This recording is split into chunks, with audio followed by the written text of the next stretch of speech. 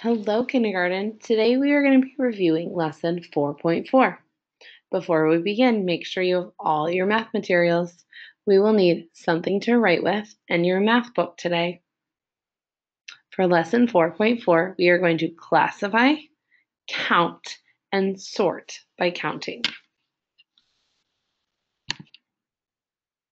Lincoln has five crayons in three different colors. This is one way Lincoln could classify the crayons by color. Draw lines below each color to show how many of each color crayon there are. So one way to classify or sort his crayons are by color. So let's do some counting. How many red crayons are there? One, two. There are two red crayons. How many blue crayons are there? One, two. There are two blue crayons. There's an equal amount of red and blue crayons. Let's look at green. There is one green crayon. So there are more blue and red crayons than there are green crayons.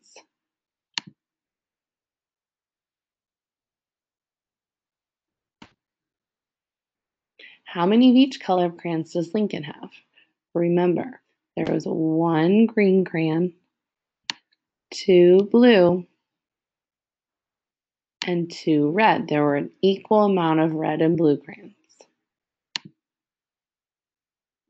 Remember, Lincoln has five crayons in different colors. You classified the crayons. Remember, we sorted. You identified the number of crayons in each category. Now sort the crayons by count. So how many of each did we have? Remember, how many green crayons did we had? We had one green crayon. How many red crayons did we have? Two.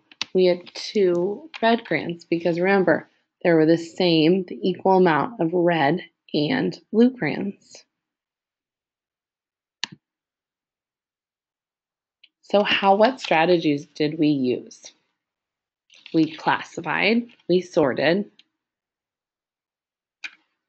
we sorted by color, and then we counted.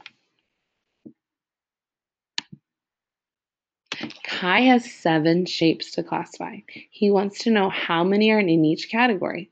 Then he wants to sort the categories by count.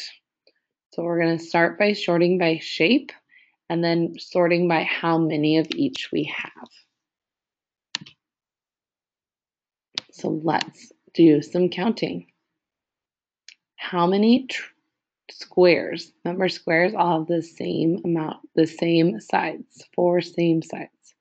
Let's count. One, two, three. How many squares?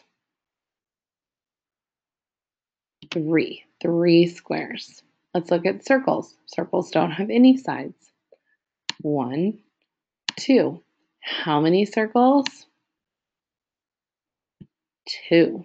Last, how many triangles? Triangles have one, two, three sides. One, two. Two triangles. Now, which two shapes do I have the equal amounts of? I have an equal amount of circles and triangles because 2 and 2 are the same. Equal means the same.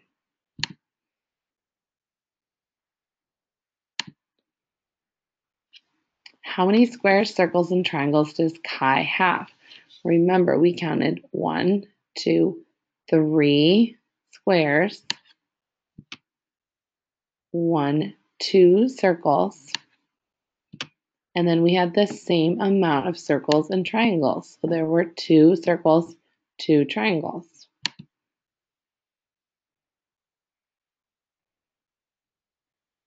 Sort the shapes by count. So remember, three squares, two circles, two triangles. So if you look at the first one, two circles, two triangles, one square. That is our correct answer. Because we have an equal amount of circles and triangles. Let's look at our next problem. Oops.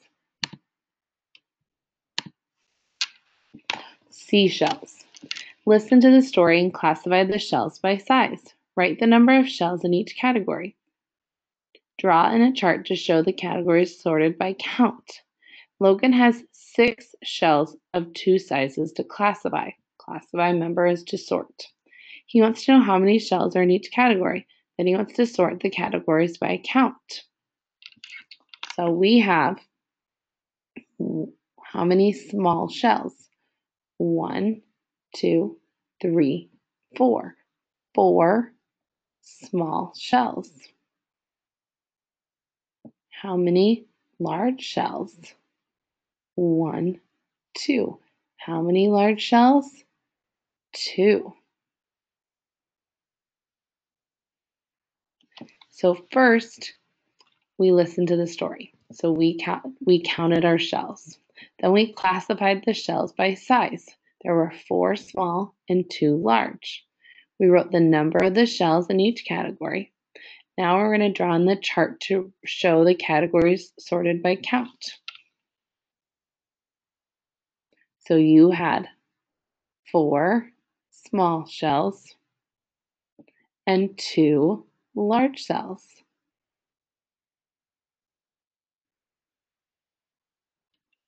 Great job. Let's try the last one together. Listen to the story. Color each button red, orange, or blue. Classify the buttons by color. Write the number of buttons in each category and draw on the chart to show the categories sorted by count. Amelia has eight buttons and three colors to classify. She wants to know how many buttons are in each category and then she wants to sort the categories by count. This one you can do on your own. How many red? How many orange? How many blue? That is up to you. Here is an example. If she had three red, and if you have a red crayon, you can color these in. If not, you can just mark them. She had three red, three orange, and two blue. We would have three red, three orange, and two blue. Again, this is my example. You don't have to use this one. How many does she have three of?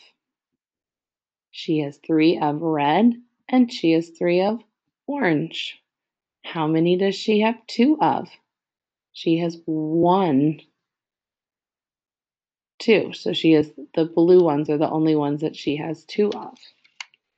That is my example, but you get to pick your own example for this math problem. Keep working hard. You are doing great job classifying kindergarten.